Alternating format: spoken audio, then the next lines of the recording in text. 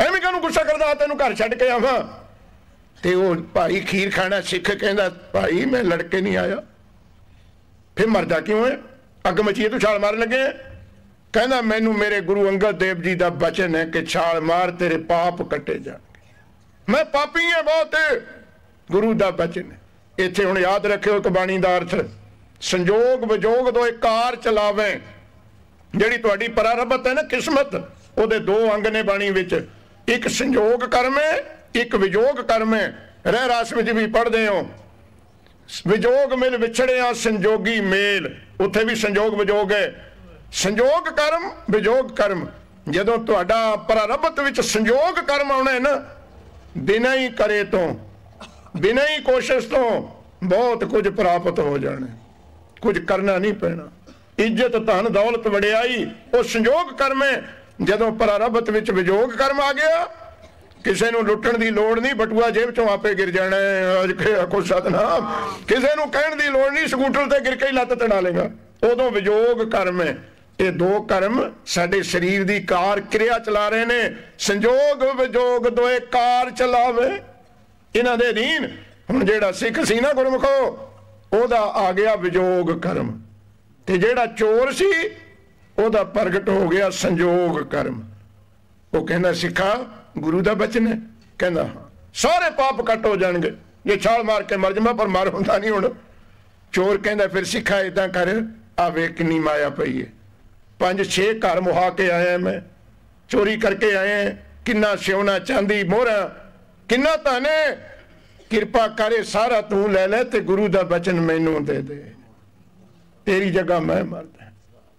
ਮੈਂ ਮਾਇਆ ਦੇਖੀ ਨਹੀਂ ਫਿਰ ਤੁਹਾਨੂੰ ਪਤਾ ਹੀ ਹੈ, ਮਾਇਆ ਨੂੰ ਬਾਣੀ ਨੇ ਕਹਿਤਾ, ਮਾਇਆ ਮਮਤਾ ਮੋਣੀ ਨੇ, ਮਾਇਆ ਮਮਤਾ ਮੋਣੀ ਨੇ।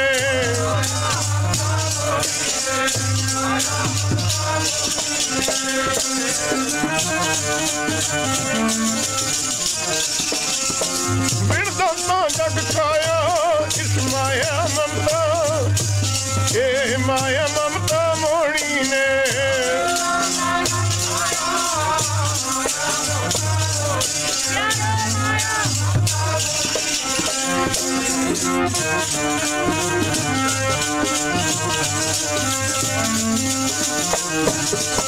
ਵਿਣ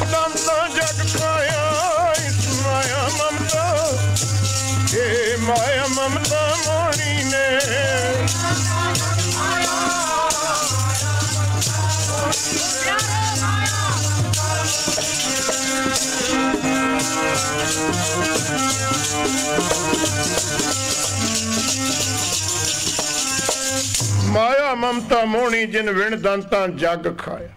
ਬਾ ਜਦੇ ਮਨ ਭਰਮ ਗਿਆ ਗੁਰਮਖੋ, ਕਹਿੰਦਾ, ਚੰਗਾ ਫਿਰ ਭਾਈ ਆ ਮੈਨੂੰ ਦੇ ਦੇ, ਮੈਂ ਘਰ ਨੂੰ ਜਾਣਾ ਐਨੇ ਮਾਲ ਨਾਲ ਤਾਂ ਪੁੱਤ ਪੋਤੇ ਵੀ ਰੱਜ ਜਾਣਗੇ।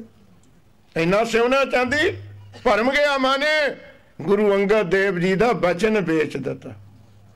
ਬੜਾ ਖੁਸ਼ ਹੋਇਆ, ਲੈ ਕੇ ਤੁਰ ਪਿਆ, ਕਹਿੰਦਾ ਕਿਤੇ ਫੇਰ ਨਾ ਚੋਰ ਬਦਲ ਜਾਵੇ, ਫੇਰ ਨਾ ਕਿਤੇ ਲੈ ਲਵੇ। ਤੁਰ ਗਿਆ ਜਦੇ ਤੇ ਚੋਰ, ਦੇਖੋ ਦਾ ਸੰਜੋਗ ਕਰਮ।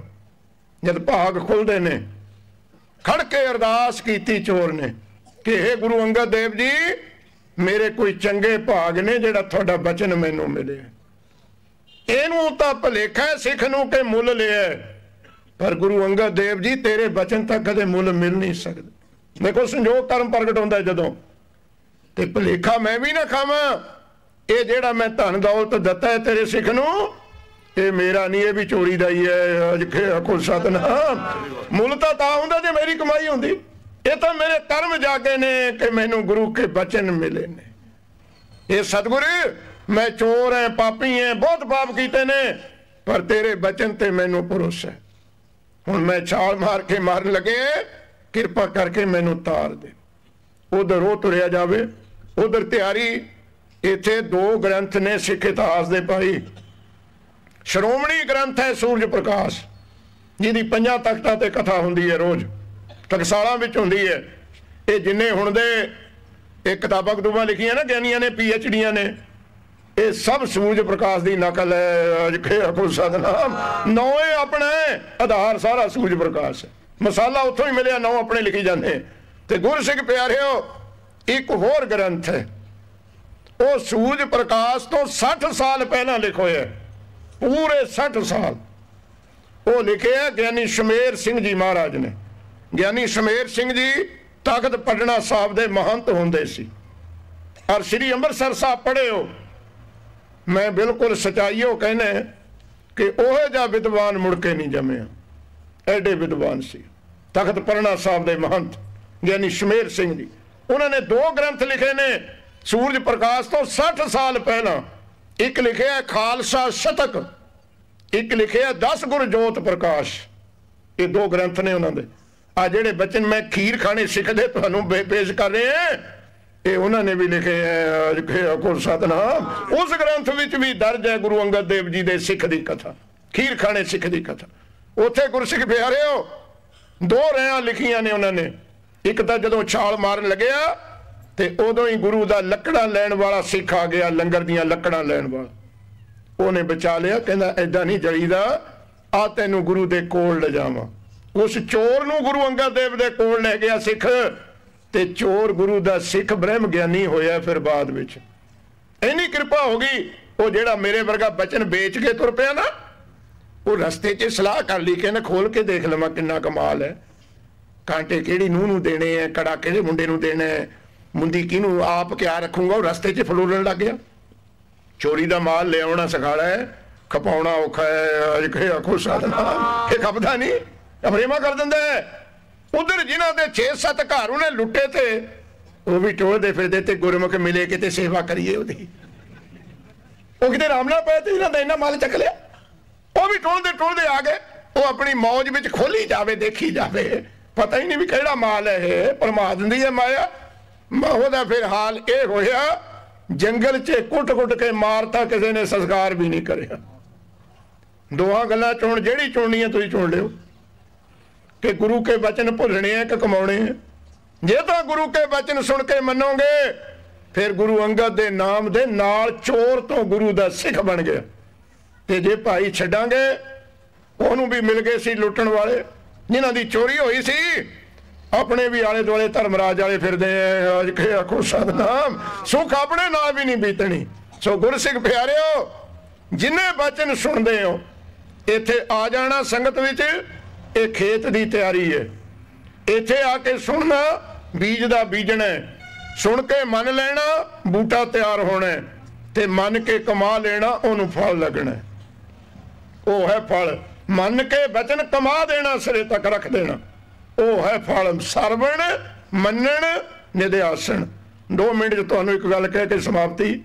ਖੰਡ ਪਾਠ ਕਰਾਓ, ਲੰਗਰ ਲਾਓ, ਤੀਰਥਾਂ ਤੇ ਜਾਓ, ਬਾਬਿਆਂ ਦੇ ਡੇਰਿਆਂ ਕੋਲ ਜਾਓ, ਲੋਈਆਂ ਦਿਓ, ਪੈਸੇ ਦਿਓ, ਜੋ ਮਰਜ਼ੀ ਕਰਦੇ ਰਹੋ। ਇਹ ਮੰਜ਼ਲ ਤੇ ਪਹੁੰਚਾਉਣ ਵਾਲੀਆਂ ਚੀਜ਼ਾਂ ਨਹੀਂ ਹੈ। ਬਹੁਤ ਪਿਆਰ ਨਾਲ ਸੁਣਿਓ। ਇਹ ਮੰਜ਼ਲ ਨਹੀਂ ਹੈ। ਇਹ ਸਾਧਨ ਹੈ। ਇਹ ਪ੍ਰੋਸੀਜਰ ਹੈ। ਇਹ ਜ਼ਰੀਆ ਪੌੜੀ ਕਦੇ ਚਵਾਰਾ ਨਹੀਂ ਹੁੰਦੀ। ਤੇ ਨਲਕਾ ਕਦੇ ਪਾਣੀ ਨਹੀਂ ਹੁੰਦਾ। ਵਹਿਮ ਨਾ ਕਰਿਓ। ਪੌੜੀ ਅਗਲੀ ਮੰਜ਼ਲ ਤੇ ਪੁੱਜਣ ਦਾ ਸਾਧਨ ਹੈ। ਤੇ ਨਲਕਾ ਪਾਣੀ ਕੱਢਣ ਦਾ ਸਾਧਨ ਹੈ। ਖੁਦ ਨਲਕਾ ਪਾਣੀ ਨਹੀਂ ਹੁੰਦਾ। ਮੋਟਰਾਂ ਪਾਣੀ ਨਹੀਂ ਹੁੰਦੀਆਂ। ਪਾਣੀ ਕੱਢਣ ਦਾ ਸਾਧਨ ਹੈ। ਪੌੜੀਆਂ ਚਵਾਰਾ ਨਹੀਂ ਹੁੰਦੀਆਂ। ਚਵਾਰੇ 'ਚ ਜਾਣ ਦਾ ਸਾਧਨ ਹੈ। ਪਰ ਅੱਜ ਆਪਾਂ ਪੌੜੀ ਨੂੰ ਫੜ ਕੇ ਖੜ ਗਏ। ਨਲਕੇ ਨੂੰ ਫੜ ਕੇ ਖੜ ਗਏ ਕਰਮ ਕਾਂਡ ਕੋਈ ਪੌੜੀ ਨੂੰ ਫੜ ਕੇ ਖੜਾ ਰਵੇ ਗੱਬੇ। ਹੇਠਲੇ ਹੇਠ ਲੈ ਕੇ ਉੱਪਰਲੇ ਦੀਕਣਗੇ ਡੈਡੀ ਆਏ ਹੀ ਨਹੀਂ, ਅੱਜ ਕੇ ਆਖੋ ਸਤਨਾਮ। ਉਹ ਮੰਜ਼ਿਲ ਨਹੀਂ ਹੈ। ਇਹ ਜਿਤਨੇ ਵੀ ਕਰਮ ਕਾਂਡ ਨੇ, ਇਹ ਮੰਜ਼ਿਲ ਤੱਕ ਪਹੁੰਚਾਉਣ ਦੇ ਸਾਧਨ ਨੇ, ਪਰ ਮੰਜ਼ਿਲ ਨਹੀਂ ਹੈ। ਮੰਜ਼ਿਲ ਕੀ ਹੈ? ਗੁਰ ਕਾ ਬਚਨ ਬਸੈ ਜੀ ਨਾਲ ਇਹ ਹੈ। ਮੰਨ ਲਓ ਬਚਨ ਗੁਰੂ ਦਾ ਬਸ, ਕਰਮ ਕਾਂਡ ਦੀ ਲੋੜ ਨਹੀਂ। ਜਪਜੀ ਸਾਹਿਬ ਦੀ ਅੱਧੀ ਤੁਕ ਪੜ ਲਓ। ਸਾਰੀ ਵੀ ਲੋੜ ਨਹੀਂ। ਜੇ ਤੁਸੀਂ ਧਰਮੀ ਬਣਨਾ ਅੱਧੀ ਤੁਕ ਜਪਜੀ ਸਾਹਿਬ ਦੀ। ਦੇਖੋ ਕਿੱਥੇ ਨਵੇੜਤਾ ਬਾਬੇ ਨਾਨਕ ਨੇ ਧਰਮ ਦੀ ਫਲਸਫੀ ਇੱਥੇ ਡਾਂਗ ਚੱਕੀ ਫਿਰਦੇ, ਸਾਰੇ ਧਰਮ ਆਪੋ ਆਪਣੇ ਪਰ ਬਾਬਾ ਨਾਨਕ ਕਹਿੰਦਾ, ਜੇ ਤੂੰ ਧਰਮੀ ਬਣਨੇ ਤਾਂ ਧਰਮ ਹੋਵੇ ਸੰਬੰਧ। ਦੇਖੋ ਕੈਸੇ ਬਚਨ ਗੁਰੂ ਕਾ ਬਚਨ ਮੰਨ ਲੈ, ਤੇਰਾ ਧਰਮ ਨਾਲ ਰਿਸ਼ਤਾ ਜੁੜ ਜਾਊਗਾ ਅਜ ਕੇ ਆਖੋ ਸਭ ਮੰਨੇ ਧਰਮ ਹੋਵੇ ਸੰਬੰਧ ਸੰਬੰਧ ਕਈ ਰਿਸ਼ਤਾ। ਕੋਈ ਹੋਰ ਕਰਮ ਕਾਂਡ ਨਹੀਂ ਦੱਸਿਆ। ਬਚਨ ਮੰਨ ਲੈ ਗੁਰੂ ਦਾ। ਤੂੰ ਧਰਮੀ ਬਣ ਗਿਆ। ਇਸੇ ਨੂੰ ਕਹਤਾ ਹੁਕਮ ਮੰਨਿਆ ਹੋਵੇ ਪ੍ਰਵਾਨ ਤਾਂ ਖਸਮੇ ਕਾ ਮਹਲ ਪਾਏ ਸੀ। ਅੱਜ ਮੈਂ ਇੱਕ ਬਚਨ ਕਰਨਾ ਬੀਬੀਆਂ ਨੂੰ। ਮੰਨ ਲੈਣਗੀਆਂ ਭਾਈ ਤੁਸੀਂ ਕਮਾ ਲਵੋਗੇ ਤੁਸੀਂ ਤੇ ਗੁਰੂ ਦੀ ਖੁਸ਼ੀ ਤੁਹਾਨੂੰ ਮਿਲ ਜੂ। ਬਸ ਇੱਕੋ ਬਚਨ ਹੈ ਤੁਹਾਨੂੰ ਅੱਜ। ਜਿੰਨੀਆਂ ਸਿੱਖ ਬੀਬੀਆਂ ਬੈਠੀਆਂ ਅੱਜ ਪਰਨ ਕਰਕੇ ਜਾਣਾ ਤੁਸੀਂ। ਕਿ ਅੱਜ ਤੋਂ ਬਾਅਦ ਕਿਸੇ ਬੱਚੇ ਦੇ ਕੇਸ ਨਹੀਂ ਕੱਟਣੇ। ਬਸ ਇੰਨਾ ਹੀ ਬਚਨ ਕਰਨਾ। ਇੰਨਾ ਬਚਨ ਮੰਨ ਲਓ ਗੁਰੂ ਦਾ, ਬੱਚਿਆਂ ਦੇ ਕੇਸ ਕੱਟਣ ਤੋਂ ਹਟ ਜਾਓ। ਸਤਿਗੁਰਾਂ ਦੀ ਤੁਹਾਡੇ ਤੇ ਖੁਸ਼ੀ ਹੋ ਖੁਸ਼ੀ ਹੈ। ਪਨੀਰੀ ਤਿਆਰ ਕਰ ਦੋਗੇ। ਮਨ ਮਤ ਵਿੱਚ ਪੈ ਗਈਆਂ ਭੈਣੋ ਤੁਸੀਂ। ਜਿਹੜਾ ਬੱਚਾ ਨਹੀਂ ਮੰਨਦਾ, ਮਾਂ ਵਿੱਚ ਸ਼ਕਤੀ ਹੈ, ਮਨਾ ਸਕਦੀ ਹੈ। ਮਾਂ ਵਿੱਚ ਸਹਿਣਸ਼ੀਲਤਾ ਬਹੁਤ ਹੈ। ਬੱਚੇ ਨੂੰ ਵੇਖਿਆ ਨਹੀਂ ਮਾਂ ਕੁੱਟਦੀ ਹੋ? ਨਾਲ ਖੜੇ ਦੀ ਗੋਦੀ ਨਹੀਂ ਚੜੂ, ਫੇਰ ਵੀ ਮਾਂ ਕੋਲੇ ਜਾਊ, ਵਿਚਾਰ ਹੋਰ ਲਾ ਲੈ, ਅੱਜ ਕਿਹਾ ਕੁਛ ਨਾ ਦੇਖੋ ਮਾਂ ਤੇ ਬੱਚੇ ਦਾ ਪਿਆਰ। ਦੂਏ ਕੋਲ ਨਹੀਂ ਜਾਊਗਾ, ਚਾਹੇ ਚਪੇੜਾ ਵਾਦੀਆਂ ਮਾਂ ਕੋਲ ਨੂੰ ਜਾਊ। ਤੁਹਾਡੇ ਵਿੱਚ ਸ਼ਕਤੀ ਹੈ, ਪਰ ਤੁਸੀਂ ਉਦਮ ਛੱਡ ਦਿੱਤਾ। ਮੈਂ 2.5 ਸਾਲ ਦਾ ਨਿਆਣਾ ਨਹੀਂ ਹੁੰਦਾ, ਜਦ ਕੱਦੂ ਹਜਾਮਤ ਕਰ ਦੇਣੀ ਹੈ। 2 ਸਾਲ ਦਾ ਮੁੰਡਾ ਹੋਇਆ ਤੇ ਘਰੋਟਣਾ ਬਣਾਤਾ ਹੈ ਨਾ। ਤੇ ਬਾਬਿਆਂ ਕੋਲ ਚੱਕੀ ਫਿਰਦੀ ਹੈ, ਮੇਰੇ ਕੋਲ ਬਹੁਤ ਆਉਣੀ ਹੈ। ਅਗੇ ਬਾਬਾ ਜੀ ਮੁੰਡਾ ਢਿੱਲਾ ਰਹਿੰਦਾ ਤੇ ਸਿਰ 'ਪਰ ਹੱਥ ਰੱਖੋ। ਜਦ ਬਾਬਾ ਉਧਰ ਨੂੰ ਦੇਖਦਾ ਤਾਂ ਸਿਰੇ ਨਹੀਂ ਹੈ। ਹੱਥ ਪਤਾ ਨਹੀਂ ਕਿੱਥੇ ਰੱਖੇ ਸਿਰ ਹੈ ਹੀ ਨਹੀਂ।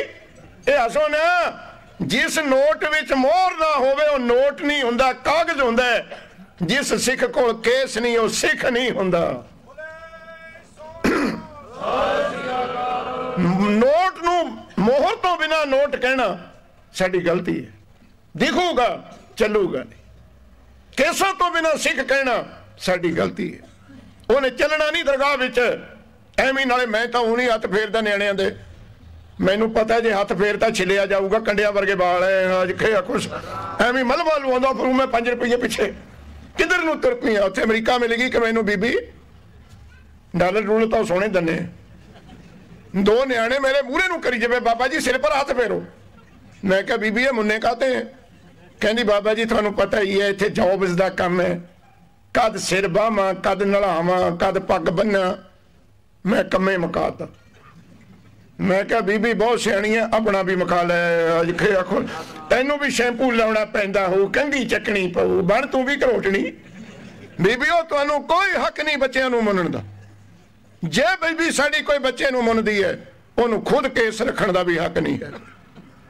ਤੁਸੀਂ ਮੋਹਰ ਚਲਾ ਰਹੀ ਹੋ ਗੁਰੂ ਦੇ। ਕੁਝ ਆਪਣਾ ਫਰਜ਼ ਸਮਝੋ। ਬਹੁਤ ਵੱਡਾ ਮਾਣ ਗੁਰੂ ਕਰਨੇ ਤੁਹਾਨੂੰ ਦਿੱਤਾ ਹੈ। ਮੁਸਲਮਾਨ ਵੀਰਾਂ ਦਾ ਸ਼ਹਿਰ ਹੈ ਸਾਡਿਆਂ ਦਾ। ਸਾਡੇ ਵੀਰ ਨੇ। ਕਿਸੇ ਮੁਸਲਮਾਨਣੀ ਨੂੰ ਨਵਾਜ਼ ਪੜਨ ਦਾ ਹੱਕ ਨਹੀਂ ਹੈ। ਪੁੱਛ ਲਿਓ ਇੱਥੇ ਕਿ ਬੀਬੀਆਂ ਨਵਾਜ਼ ਪੜਦੀਆਂ ਨੇ? ਨਹੀਂ ਪੜ ਸਕਦੀਆਂ। ਮੁਸਲਮਾਨ ਨਵਾਜ਼ ਪੜੇਗਾ ਉਹਦੇ ਘਰ ਵਾਲੀ ਨਹੀਂ ਪੜ ਸਕਦੀ। ਹਿੰਦੂ ਵੀਰ ਬੈਠੇ ਨੇ। ਬ੍ਰਾਹਮਣ ਜਨੇਊ ਪਾ ਸਕਦਾ, ਘਰ ਵਾਲੀ ਜਨੇਊ ਨਹੀਂ ਪਾ ਸਕਦੀ। ਇੱਕ ਬ੍ਰਾਹਮਣ ਦੇ ਘਰ ਵਾਲੀ ਦੇ ਮੇਰੇ ਜਨੇਊ ਪਾ ਕੇ ਦਿਖਾਇਓ। ਆਕੇ ਨਹੀਂ ਹੈ ਉਹਨੂੰ? ਮੁਸਲਮਾਨ ਭੈਣ ਨਵਾਜ਼ ਨਹੀਂ ਪੜ ਸਕਦੀ, ਹਿੰਦੂ ਭੈਣ ਜਨੇਊ ਨਹੀਂ ਪਾ ਸਕਦੀ। ਇੱਕ ਤੁਸੀਂ ਹੋ, ਤੁਹਾਨੂੰ ਹੱਕ ਦਿੱਤਾ ਹੈ, ਬਾਜਾਂ ਵਾਲੇ ਕਹਿੰਦੇ ਜੇ ਮੇਰਾ ਪੁੱਤ ਕਿਰਪਾਨ ਪਾਊਗਾ, ਮੇਰੀ ਧੀ ਵੀ ਕਿਰਪਾਨ ਪਾਊਗੀ। ਜੇ ਮੇਰਾ ਪੁੱਤ ਪੰਜ ਬਾਣੀਆਂ ਪੜੂ ਮੇਰੀ ਧੀ ਵੀ ਪੰਜ ਬਾਣੀਆਂ ਪੜੂਗੀ ਜੇ ਮੇਰਾ ਪੁੱਤ ਦਰਬਾਰ ਹਰਮੰਦਰ ਸਾਹਿਬ ਜਾਊਗਾ, ਮੇਰੀ ਧੀ ਵੀ ਜਾਊਗੀ। ਜੇ ਮੇਰਾ ਪੁੱਤ ਕੀਰਤਨ ਕਰੂਗਾ, ਮੇਰੀ ਧੀ ਵੀ ਕੀਰਤਨ ਕਰੂਗੀ। ਐਡਾ ਵੱਡਾ ਮਾਣ ਤੁਹਾਨੂੰ ਦਿੱਤਾ। ਫਿਰ ਉਸ ਗੁਰੂ ਦੀ ਮੋਹਰ ਚਲਾਓ ਤੁਸੀਂ। ਉਸ ਗੁਰੂ ਨੂੰ ਭੁੱਲੋ। ਤੁਹਾਨੂੰ ਬੇਨਤੀ ਇੰਨੀ ਉਹ ਹੈ ਕਿ ਬਚਨ ਮੰਨ ਲਓ ਕਿ ਇਸ ਗੁਰੂ ਦਾ ਮੋਹਰ ਹੈ। ਬੱਚਿਆਂ ਨੂੰ ਸੰਭੋ। ਤੁਹਾਨੂੰ ਇੱਕ ਹੋਰ ਬੇਨਤੀ ਹੈ ਭਾਈ। ਗੁਰਦੁਆਰੇ ਬਣਾਉਣ ਤੇ ਹਟ ਜਾਓ ਬਹੁਤ ਬਣ ਗਏ।